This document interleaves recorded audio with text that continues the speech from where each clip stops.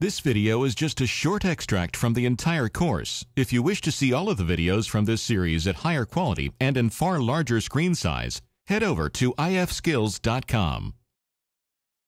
I would like to, if I may, introduce you to some of my favorite tools in Adobe Illustrator. I've probably said that about something else earlier in this lesson series, and I'll probably forget and say it again about something else, but I do like these tools.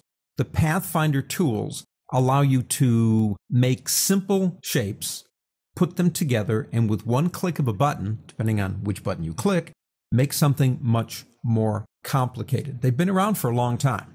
As a matter of fact, the original Pathfinder tools were under the filter menu years ago. So you might still hear old timers in Illustrator calling them or referring to them as the Pathfinder filters.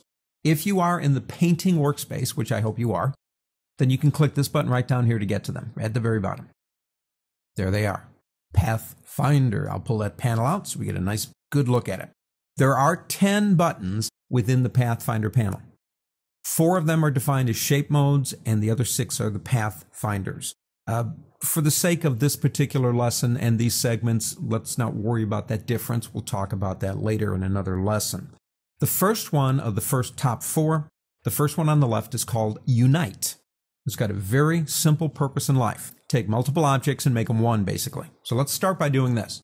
Pick up your, oh, ellipse tool. Draw ellipse on the screen I'm going to do a perfect circle with the shift key, of course. I'm going to do another ellipse. I'm ellipse happy today. This ellipse, I'm going to pick my selection tool up and place it right about there. I'm going to hold the Alt key, which makes a copy, and drag it, but I'm also going to hold the Shift key down so it doesn't go up or down, and try to visually line it up on the other side. Something about like that looks all right. Let's change their colors just for the fun of it. Okay, red circle, black circle, yellow circle. I want to put them all together. You may begin recognizing this shape as the Mickey Mouse silhouette, but you want to be careful about saying Mickey Mouse because Disney, and rightly so, is very protective of their copyright. I want to make a mouse silhouette. That might be better. Select them all. Click this button right here and boom, there you go. You've got a silhouette. Now, how did that work? It put them all together where they overlapped, it eliminated them and made one shape with one fill and one stroke. Let me undo that. The reason they went black is because the black circle, stacking order wise, was on top. Now remember, anytime you draw something or bring something into Adobe Illustrator, the last thing in becomes the top of the stacking order. If there were no stacking order in Adobe Illustrator, you'd either A, have to have everything in its own layer, or B, it would bump into each other we do have a stacking order. This one is indeed on top of that one. If I change the order by clicking, say, on the big yellow one, going to the word object, arrange, there you go, bring to front, and do the same thing again, it'll be yellow. It's up to you. Doesn't make any difference at all. It's the top one. Can you change the color now? Of course. Go over, change it to any color that you want it to be. You want it to go back to black. Come over here with it selected and change it to black. No big deal. So the unite brings it together. Let me undo that twice so I can get it back to where it was. There's another change in the Pathfinder set that's different from the previous versions. No big deal, you just have to understand what's going on. When you select all the items and click the button, you are making multiple objects into one. Doesn't matter how many you have. But it didn't work like that up front. The first time you clicked in the previous version actually made a compound path.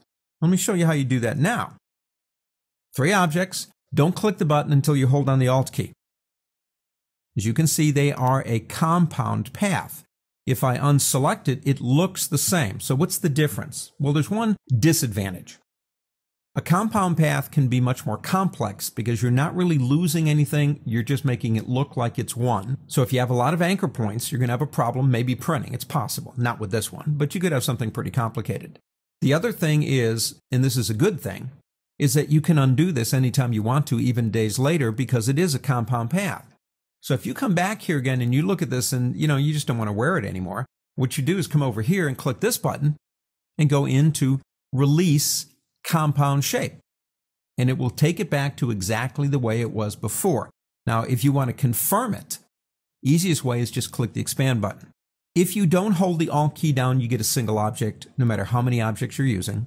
If you hold the Alt key down, you get a compound shape on any of those top shape mode tools. What's next?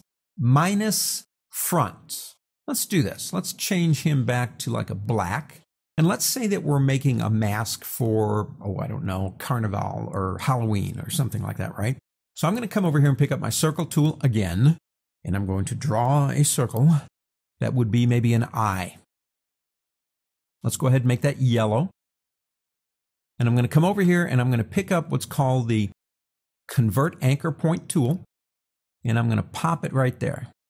And I'm going to move it out just one. I'm using the arrow keys to push that one point to the right. Let's come over here and let's move that to about here. Now I'm going to make another one by holding the Alt key down and let's bring it to about here. Then what I'm going to do, this will be easy, is go to a corner until you see the bent arrow and turn it around. Oh man, that's evil Mickey Mouse. Hmm, that's a good Halloween mask. But the next command is called minus front.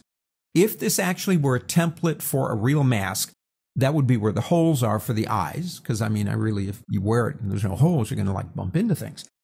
What we're going to do is select everything again. So the first thing we did is we made this into one. Now we've got these two little evil eyes on the mask, and we're going to go ahead and click this button, which is minus front. And there you go. What did it do? Minus front will take the frontmost objects, no matter how many there are, and it will punch holes through whatever's underneath it. Once they are done punching holes, they go away and they will not influence the stroke or the fill of the original object. So we went from a bunch of circles to evil mouse mask using unite and minus front.